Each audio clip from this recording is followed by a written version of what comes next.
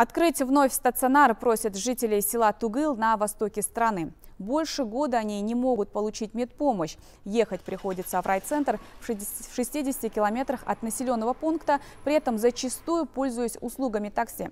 Ранее эту помощь круглосуточно они получали на месте, а в дневном стационаре нет ни одного узкого специалиста.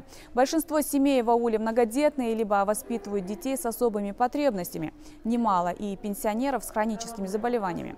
Стационар закрыли в 2019 году в рамках оптимизации. Жителей просят перейти пересмотреть решение, тем более в период пандемии.